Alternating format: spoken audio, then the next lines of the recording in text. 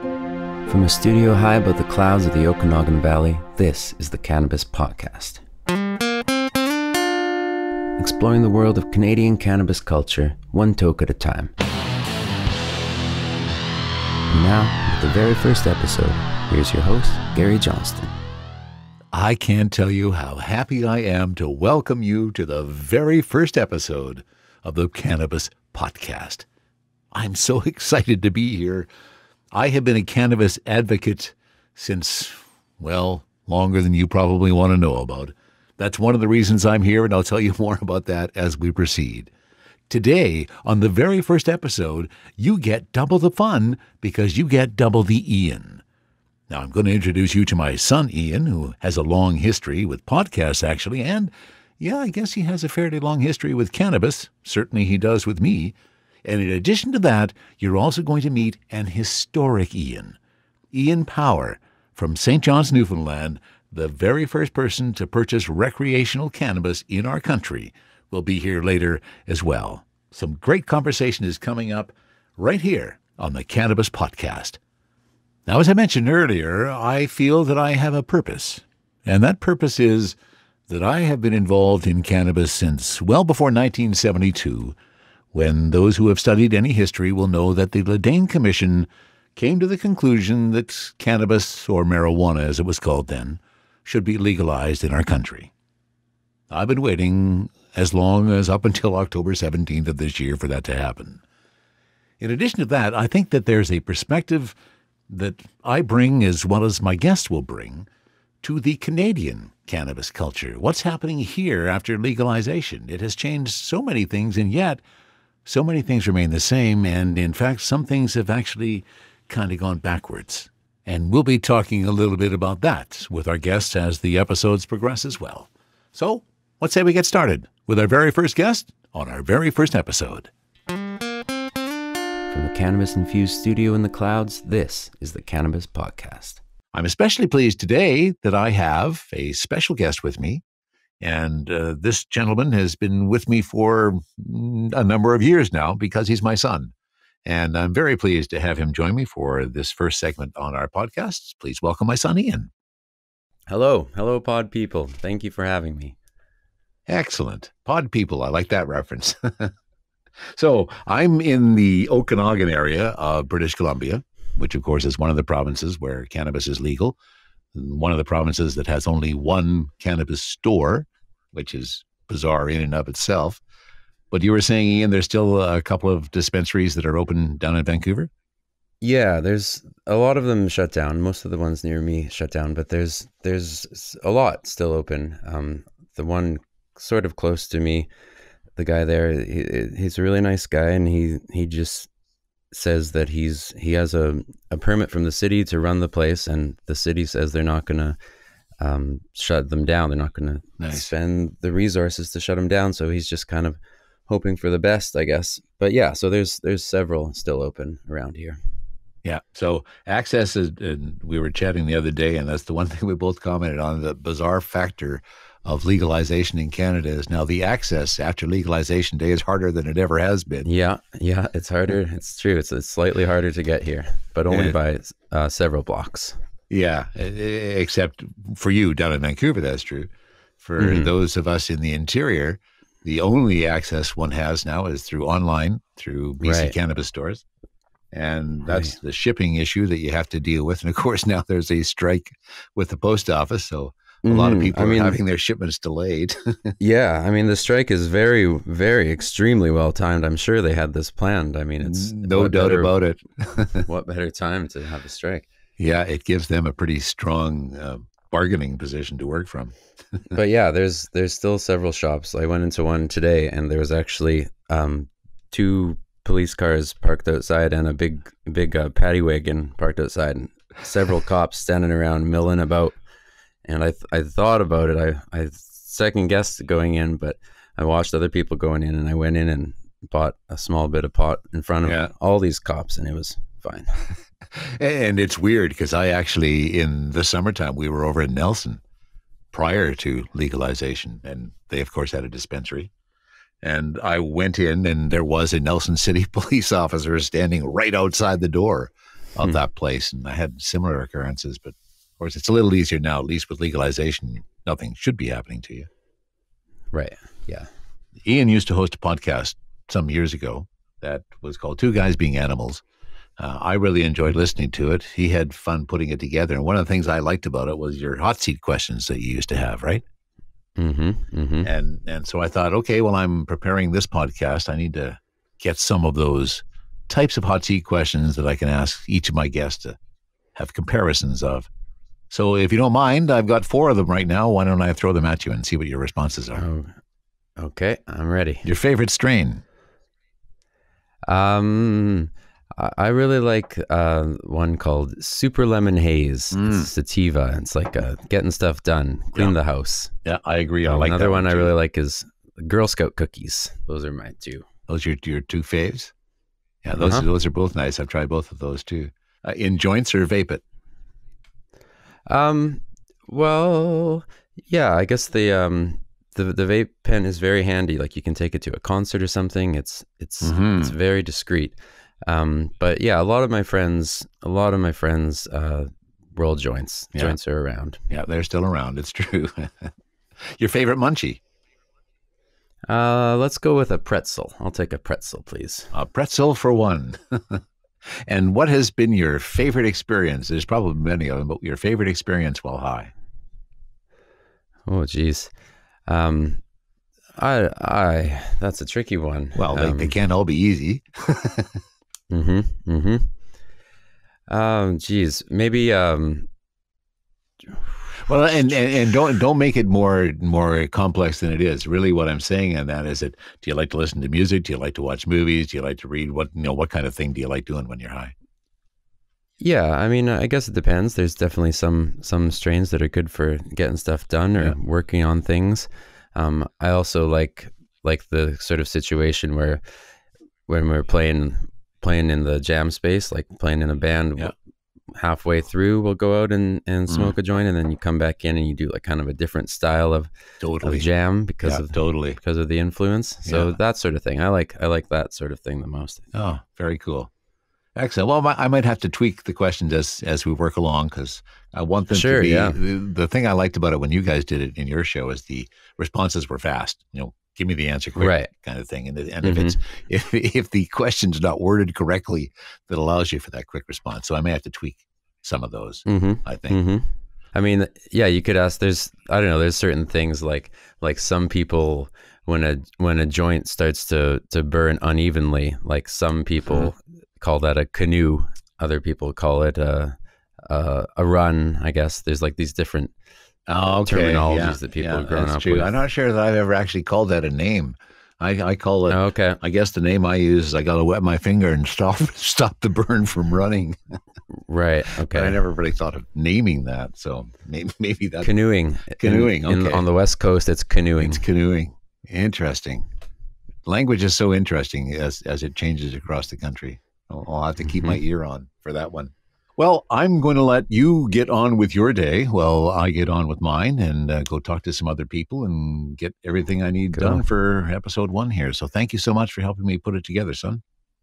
Cool. Yeah. Thanks for having me on the podcast, or or should I say the potcast? The potcast. It's funny. That's what your mom said the other day when we were talking about yeah, it too. it's a. I probably won't be the last time that someone makes that joke on the show. It probably won't be, and I may have to put that in the official documentation. That this is a Mhm. potcast for Canadian cannabis culture. So thank you very much, Ian. You have yourself a great day, and we will talk to you soon. Thanks, Dad. You too. Bye.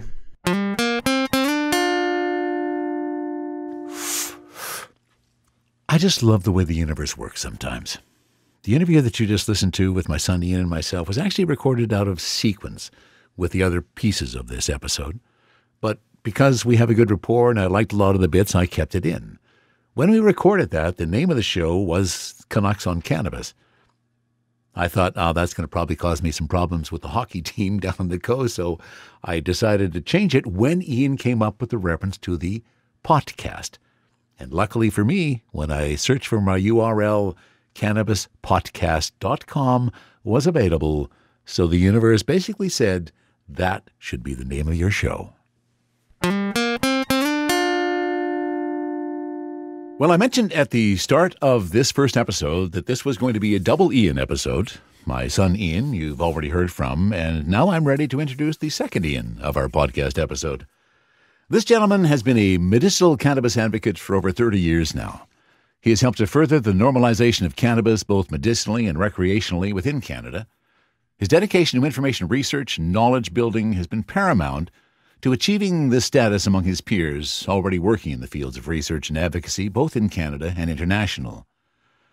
Now, his dedication to researching and understanding the latest research in the medical cannabis fields of study has helped him to better advocate and help people understand their options in obtaining their medicinal status and which treatments may be best suited for their needs. And ladies and gentlemen, I am so pleased to introduce you to Ian Power. Ian, welcome.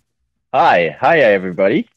And for those who don't know, one of the reasons why I wanted Ian on the broadcast was not only the fact that he has a pretty long history with dealing with cannabis, but also he made history. On October 17th, the day that cannabis was legalized in Canada, you made history, right, Ian? Tell us about that. I did. I uh, I knew that legalization was upon us. I had heard of the date a month beforehand, so I uh, I'd been saying for all my life to all my friends, you know, when it goes legal, I will be first in line to buy that first gram. And so I did. I I lined up, and uh, at midnight, you know, I, I went down at 7:30 p.m. Yeah. And there was nobody in line, so I quickly ran to Tim Hortons, grabbed myself a large double double, and came back and found a close parking spot, lined up, and just it was it was wild. I, I, I figured there would be like hundreds of people there early in the night, but yeah. uh, I guess with the weather that we were having that night, it was nine degrees and 70 kilometer per, kilometer per hour gusts of wind, so it brought it down to about minus three. And oh, there was nobody out there, no brave Newfoundlanders. Only the truly dedicated were there. only the truly dedicated, and I guess I would be the only truly dedicated one here. it sounds it sounds like you were. So so there you were, first in line. The store opened, and and you went in and you made your first purchase.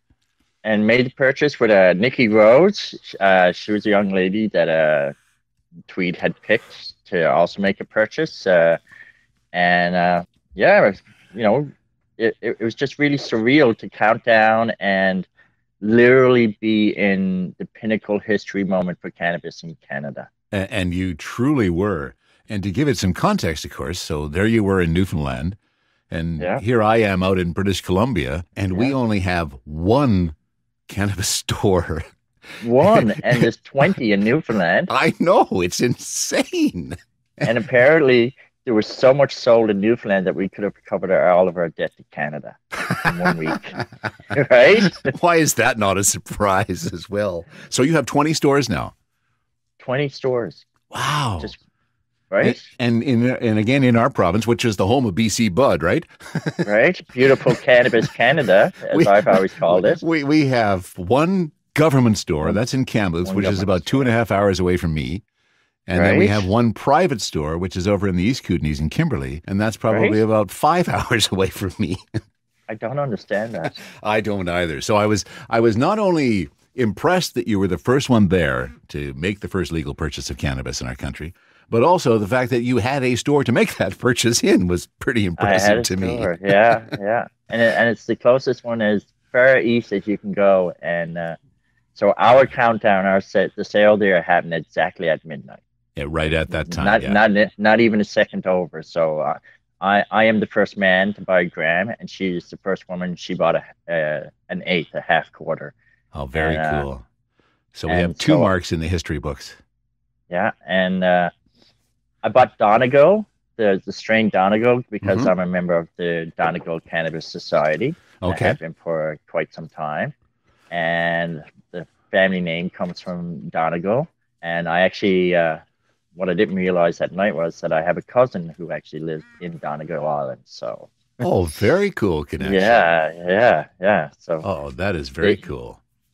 They've uh, the Donegal uh, Cannabis Society. I was just featured in the local newspaper there about a week ago. Nice. And they they've reached out to me and they're sending me a care package, buttons, pins, and uh, a hat, and a T-shirt. You know, got to represent wherever I go. And absolutely, uh, it was quite an honor. You know, that they reached out to me and said we're going to send you this care package. And yeah, very nice. Yeah, it, it's you know, it, every single friend I have to date is because of cannabis. Yeah, yeah, uh, right? yeah. I, I would tend to agree with that. It's it's kind of the same for me as well. The one thing that I found interesting about your purchase, Ian, is uh, I understand you didn't smoke it. No, I still have it. It's yeah. in an undisclosed location in a safe. Because, oh, nice. You know, it's, uh, for its historic it's, value. I, for its and it's probably its monetary value because uh, I had someone offer me over hundred thousand dollars for it the next day. You're kidding? I'm not joking. I, I didn't know if it, it, could have been a police officer. I don't know. Uh, yeah, I guess. I just said, I said no. That's going to be a part of history and staying with me forever. And the guy was like, did you really just turn down 150,000 US? And I said, yes, I did. now that's a dedicated cannabis advocate. right? I could use the money, but you know. Yeah, couldn't we all, right? right? 150,000, but then it would be trafficking and, you know, absolutely. Yeah, and, yeah, and a million dollar fine. So and, I had, and, I had to respectfully decline. You know. Yeah, and because uh, as we've as we've realized, this move to legalization is, uh, I'm finding it really a dual edged sword. You know, it you, is. You made one comment I remember seeing on the news, and the comment that you made was, "The stigma ends tonight."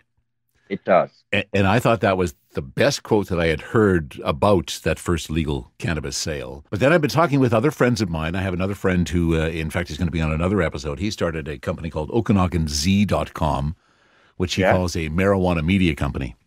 So he's just oh. doing marijuana and cannabis stories. And that's what they're focused on. And we were chatting the other day. And the stigma, unfortunately, has not left as, as much as many of us thought it would. I think it has well, left between us, like those of us who are into the cannabis field. Yeah. But those who aren't, there's still that stigma. Have you found that same thing? Uh, actually, I find Newfoundland to be a lot more progressive about it. Okay, uh, good. You know, we the, the RNC, well, Newfoundland Constabulary, they sent out notices to the quote unquote illegal shops uh, to shut down. So, like, yep. they could have just went in and raided them and been you know, bully about it. And sure. but they they gave people notice, and some shops did close down, uh, others didn't, and they ended up getting raided. But uh, you know, I, I, honestly believe that all the smaller dispensaries should have been included in the whole legalization process. Yeah, I agree. Yeah, you know, you, would have you, you employ people, the money stays local. It's not going, you know, overseas or or to American companies. Absolutely. Um, and it would bring the price down, especially for patients, because it, it, hasn't gotten any cheaper for patients since legalization. No, it certainly hasn't. And in again, in this part of the country, access has, has been incredibly hard for patients since legalization. Well, that's, that's yeah, not happening so, in Newfoundland. They can still access it fairly easily. Uh, no, it's about the same. It's it for is, medical eh? patients. It's still hard. You know, it's even myself. You know, I I, I did became kind of famous for it, but uh, it hasn't made it any easier for me to access cannabis. Uh, a lot of people do talk about staying with their, you know, free market dealers. Yeah. And, you know, you got to do what you got to do, right? like I can't say it's the best thing, but I'm not saying it's the worst thing. Like I, I support independent dispensaries. I support mm-hmm. people who grow at home and share with other patients. You know, that's that's the biggest bonus out of this is that you can share and not get in trouble. Yeah, absolutely. Like I, I, I can go and give someone who's over the, who's legal age uh, right in front of a police officer. I could hand them a half bag of cannabis, and it's not illegal. So that's that's a one little good thing. But uh, that is, I think the whole advertising restriction is uh, a bunch of heard my word for poppycock, as my grandfather would say. Yeah. Uh, just where alcohol is be, being targeted towards everyone and is you know thrown in everybody's faces why can't cannabis be advertised on TV and in newsprint? And that's the thing I find most bizarre about the advertising rules. So you look at a beer commercial, as you just said, and and and all you see is people, people, Yeah. people, people. And, and according to the r- regulations for advertising, to advertise cannabis, there can be no people in the image. Like, Right? like what's up with that? well, then I, maybe maybe companies should just advertise strictly straight cannabis, and with no people, and just a big pot leaf on the screen, and you Yeah, know, it, it's just bizarre. So there are there's many areas of this legalization that have, I think, created even more confusion. What's your assessment of, of where we are so far? In, in we've been a little over a month now. How do you think it's gone? month. Um, I think they underestimated the the demand. Yeah, Uh, mostly what I'm seeing is uh, senior citizens in the Tweed store downtown, uh, at Dominion grocery store, Loblaws, right? You can buy cannabis at the grocery store, which really? mind blowing. Yes, you can go wow. buy your groceries, then you can go over to the liquor store, and then you can go into the cannabis store. I'm definitely all in the wrong one province. All right, Newfoundland's very progressive. Like I said, we're very progressive on a lot yeah. I'll say. Well, that is cool. Yeah, I'd like to give a shout out to the only independent store here, Thomas Clark, THC Distributing. I'd like to say, you know, he's doing a great job. And as the Absolutely. independent run company, right? Like Yeah. that's a, a dream of his for 25, 30 years. I'm glad to see that he's doing great and his business is going really well. And you know, Absolutely. more power to him for being an independent and not being, you know, a big corporation. Yeah, you know? absolutely. And in fact, on that regard, I, I was aware of, of Thomas H. Clark. I love the fact that his name is not actually Herb, but because everybody calls him that, he gets the THC in his name. yes, That's pretty he gets cool. the THC. And the yeah. thing I liked about his story is that the first pot that he sold was to his dad, which I thought was pretty Yeah. cool. So, where do you see ultimately legalization going in, in Canada? Ian? I would hope to see that it would go for advertising or be allowed because it's a huge amount of careers that are waiting to start because of advertising.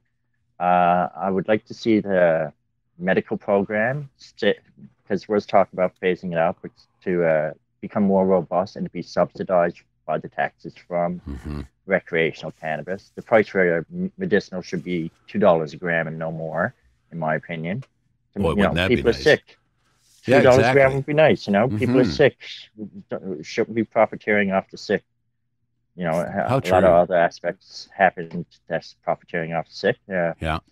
I think uh, independent growers should be included going forward. They should look at that because with the supply, with demand so high and supply low, those people can pick up the slack.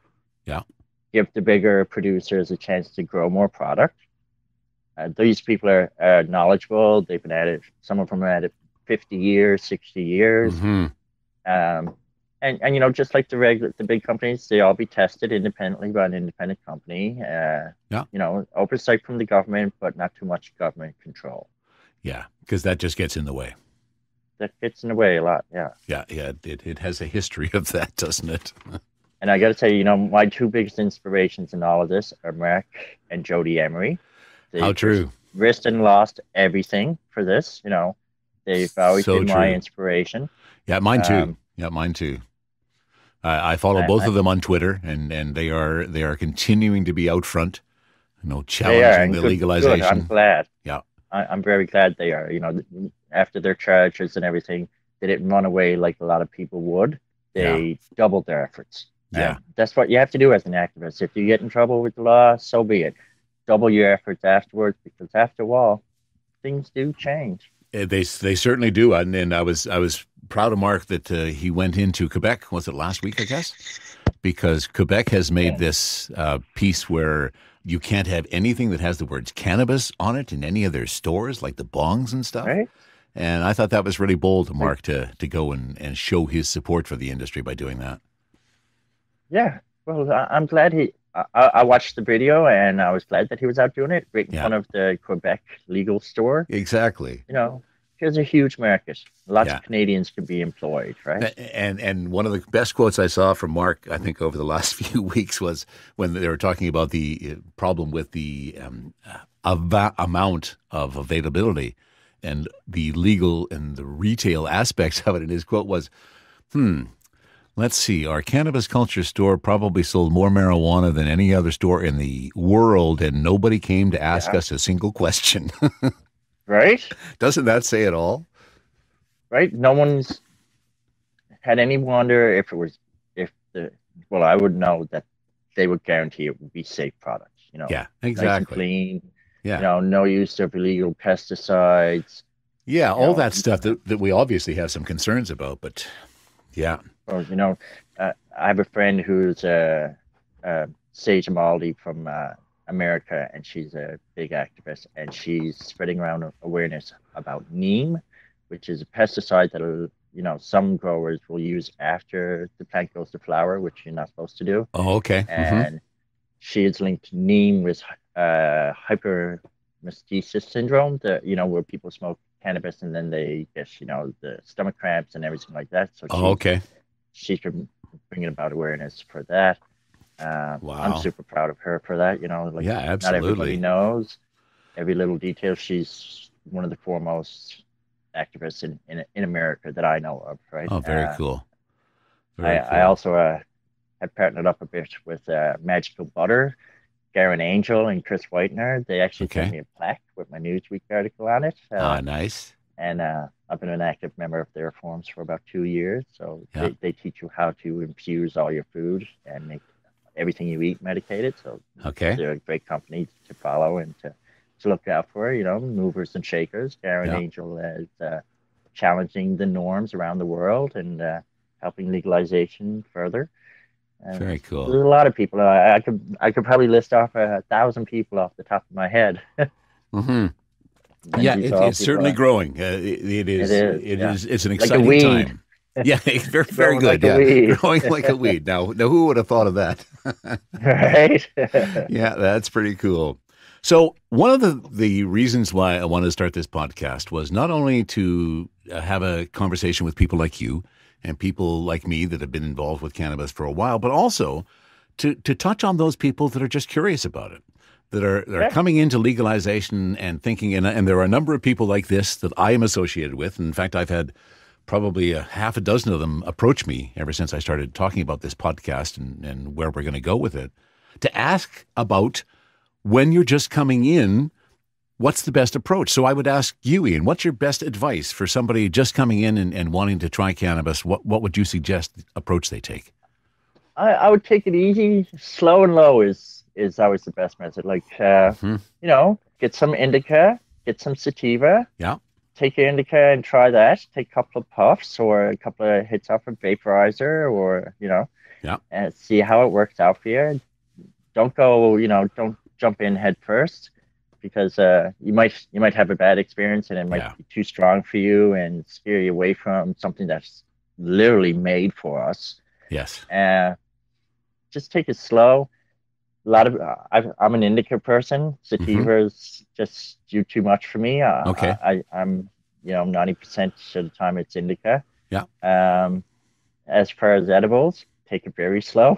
Yeah, very slow. You know, yeah, because it, it, it's you know it will take a lot longer to for the effect to come on because you you know it has to metabolize in your body and go through your liver and your kidneys and everything before Yeah. it hits your brain, and so sometimes you know people can get frightened by edibles. Uh, you know, if I I only need a small bit of an edible and it just knocks me out completely. It does, eh? Uh, I Yeah. don't advocate driving under the influence. I don't do it Nope, myself. none of us Uh, should. you Mhm. know, nobody should ever drive under, impaired under anything. That includes like prescription medication too. Yeah, right? oh, of Like, course it does, yeah. Pot, Yeah. right? Like, and and it's not the same as alcohol. You don't get the same impairment.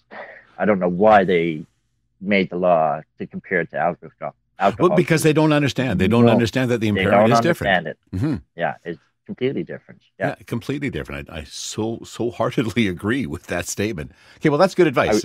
I, appreciate that. Yeah. I wish more of us had been involved in the process. Yeah. in government. Like, you know, not to say anything against Bill Blair, but what what does he really know about cannabis except for arresting people? Exactly. Other than he's arrested a bunch of people. Yeah, You know, exactly. and now now he's profiting off those same people. Yeah, I- and I guess that's the you know with, with the law, and, and we've already talked about you know not driving under the influence. But the part that surprises me about the new legislation is how many people have been busted simply for having it in their car, close Yeah. to the driver. Like, like no, nobody's smoking it, but somebody has it and they're getting busted for it. Like, like that's just That's so right. weird. No, that isn't right. I agree. right. You know, if they do their swab test, that apparently doesn't work all the time in cold climates. Yeah, the Drager five thousand. That's the Yeah, yeah. right. Not even not even proven. Not even proven. it. No, totally. And. If, if you don't have any cannabis in your system, what's the harm with having it on the seat, in the glove box, or on the floor of the back seat? you know? exactly. I mean, I, I It's no guess. different than having a dozen beer on the back seat of uh, of the car not opened. Yeah, exactly. Not it? opened. Yeah, Not opened. precisely. Yeah. If Uh, that seal isn't broken, then it shouldn't be illegal. no, it shouldn't be. I agree wholeheartedly. So may, that's one of the things I would like to see change as, Yeah, as this I'd like to see that change. carries on. Yeah. They won't bother pulling me over because I'll give them an hour lecture on cannabis. Again, like I, I don't smoke, and I and I write down the time when I do imbibe. so okay. that's- So you do have here, like- accurate information you can present to them. Well, ten seventeen in the morning, and then I wait three hours. Okay. Right, so Okay. ten seventeen because that was the date that it was legal, right? Ah, So- of course. And of ten course. seventeen is the new four twenty. So America has four twenty. We now have ten seventeen. Oh, I love that. I haven't heard that Right, so before, but I like 10, that. yeah, I actually have a T-shirt with that on it. Ten seventeen is new four twenty. That means I have 20 minutes until 1017 my time. See how perfect is that, right? You finish the podcast and that will be and have perfect. have your morning puff, and then ten seventeen in the nighttime, right? So no no more waiting up till oh there you go. Oh, I like So that. in, right, gonna- so ten seventeen at night, you can sit back, relax. The kids are gone to bed. You know, it's you know parent time or adult time. Excellent. And to your point, it's ours. The the US you It's say ours. that 420s, 1017 is ours. I love that, Ian. That's Ten great. seventeen is ours. Yeah.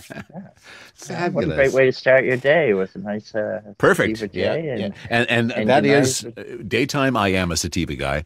a lot of the work I do is with audio and, and stuff, and, and so it doesn't really impact my ability to do my work. It just makes my Yeah. work more enjoyable, Mm, far more enjoyable. Yeah. Far more enjoyable. Yeah. Yeah, absolutely.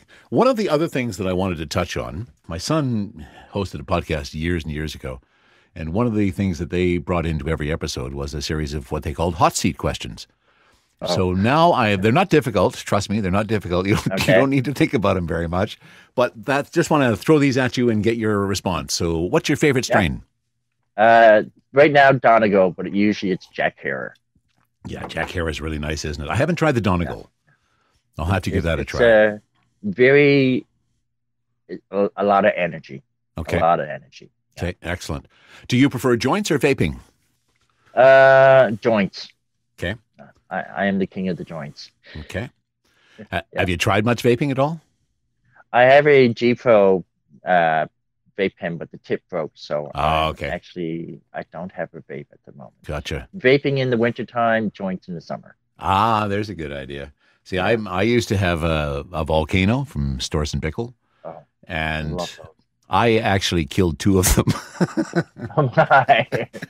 I'm the only You person I know who- chronic. exactly who killed two volcanoes over the course of Oh, my my. life. So so I can I continue to vape. So yours your preference is joints. What's your favorite munchie, Ian?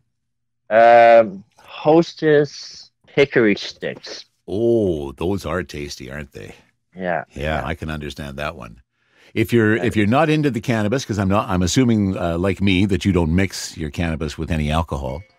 So I don't drink at all. You don't drink at all. Well, then that's the answer to haven't that had question. uh, any alcohol in my system in 13 years. Wow.